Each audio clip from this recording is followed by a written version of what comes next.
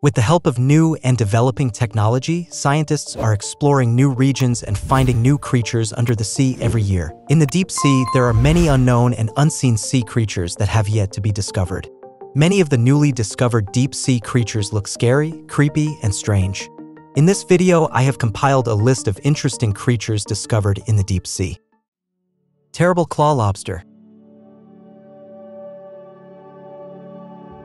Named Dinochelus ausubeli for its terrible or fearful dinos in Greek claws chela, this new species of blind lobster joins a very small list of cousins in the genus Thaumastochelopsis.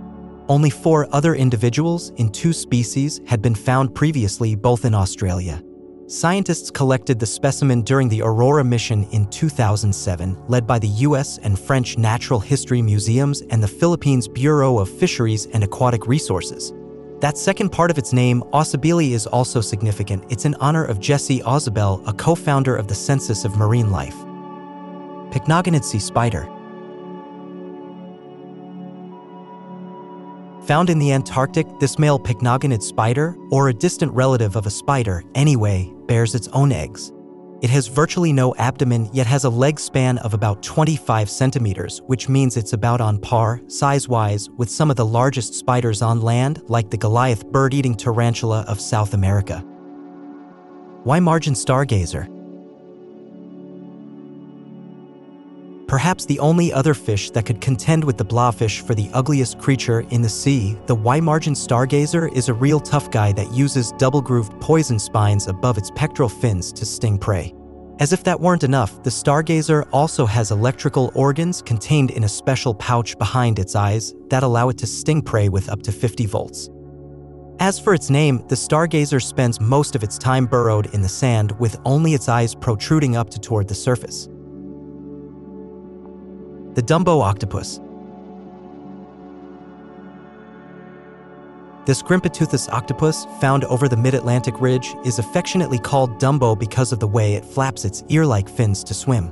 Dumbo octopuses are known to be the deepest dwelling of the octopuses as they live at depths of at least 4,000 meters, but often even deeper than that.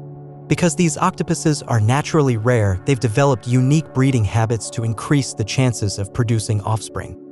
For example, the females carry eggs at various stages of development and can even store sperm inside their bodies for long periods of time after mating. Arctic Hydromedusa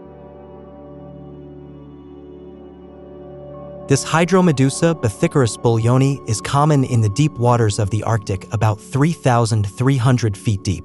The broader family of Hydromedusae are so common, in fact, that they compose the largest group of cnidarians in the sea coming in at just a few millimeters to a few centimeters at absolute maximum size, though they're far smaller than your typical jellies. But what really sets them apart from the jellyfish is their reproductive system. Hydromedusae produce both sperm and eggs outside of the body underneath their squishy bell. Obese dragonfish. Hey, that's not nice. But in all seriousness, the obese dragonfish surely won't take offense to its name. After all, there's no shame in being one of the largest species in the family Melanostomiidae. In fact, it's actually pretty badass. According to the Australian Museum, these deepwater dwellers feature a smooth, scaleless black body, boast a full set of large fang-like teeth, plus a long chin barbel and a series of light-producing photophores along the body and behind both eyes. For the most part, these guys stick to the waters around Australia, but can also be found in the Atlantic, Indian, and Pacific Oceans. Red-spotted blenny. These algae-munching fish are mostly known to be peaceful, but when it comes to other members of their species, or at least those who aren't their own mates, the red-spotted blenny can be hostile, especially if kept in a tank. Just like tangs, they sometimes bite or full-on attack other nearby red-spotted blenny fish. They even take nibbles at corals and clams at times. Their native habitats are along coral reefs in the Pacific and Indian Oceans. Japanese spider crabs. These giant crabs are, as their name indicates, native to Japan and are considered delicacies throughout the country.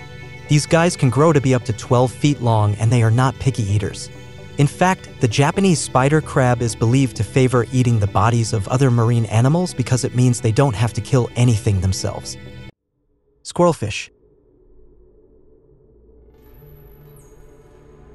The squirrelfish can only reach a max length of about 2 feet, but this creature packs some serious punch in its relatively small frame.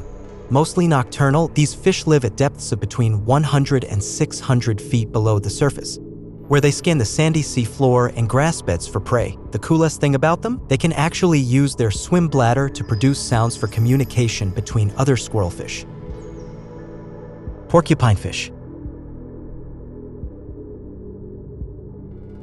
Similar to their cousin, the pufferfish, the porcupine fish is covered in strong spines and has the ability to swallow up water to puff up its body into an orb when threatened. This is helpful because it's pretty much impossible for predators to swallow a porcupine fish in full-on balloon mode. Even if a predator does manage to swallow it before it has the chance to puff up, it's still poisonous to most fish, meaning it's not a very good snack. Mimic octopus. Found in the Indo-Pacific, the mimic octopus is not only known for its ability to use chromatophores to blend in with the surroundings, but also its skill in impersonating a number of other marine animals, hence the name. Among the animals it mimics to defend itself from predators are the lionfish, sea snake, jellyfish, and zebra sole. Other times, the mimic octopus uses its shape-shifting abilities to approach prey, sometimes even appearing as a crab's intended mate before chowing down. Thornback cowfish Technically a kind of boxfish, this guy has horns at the top of his head, but doesn't use them to bully others. However, in stressful environments, or if it dies, the thornback cowfish can become toxic. Lysianassoid amphipod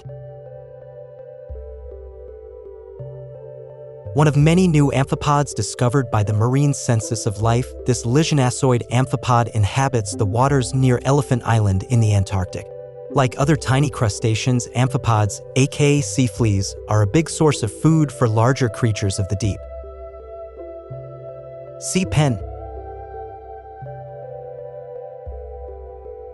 The orange sea pen, Ptilosarcus gurneyi, is actually a colony of animals that can withdraw into the soft sediment where it's found. Generally speaking, there are over 300 species of sea pens named for their quill-like appearance. With stimulation, they glow with a green light, Black swallower. The black swallower fish has the ability to swallow prey much larger than itself thanks to the extended gut attached to its belly. This adaptation is especially useful since black swallowers live in the deep and food can be scarce to come by in the abysmal depths of the sea. We have come to the end of the video. I ask you to please like and comment on the video. This video took 6 hours to research and make. Since we are a new channel, I need your help to stand out on YouTube. I hope you have a good day. See you soon.